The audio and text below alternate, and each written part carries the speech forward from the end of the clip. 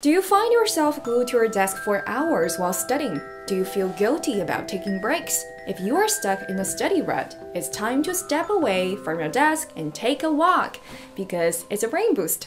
Many studies have proved the link between an active body and an active mind.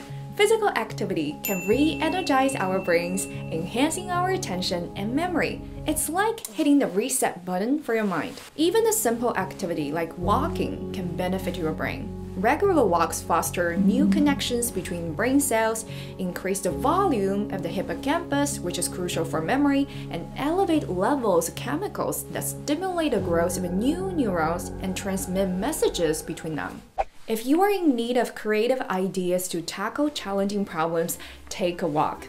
Stanford researchers found that walking improves creative thinking. They compared the creative output of participants while walking to that while sitting. The results were remarkable. On average, a person's creative output increased by 60% when walking. That's why innovative thinkers like Steve Jobs, Virginia Woolf, Henry David Thoreau, and Friedrich Nietzsche loved walking to spark their ideas.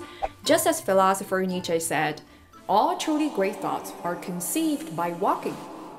Also, if you can get exposed to some morning sunlight, that's an extra brain booster.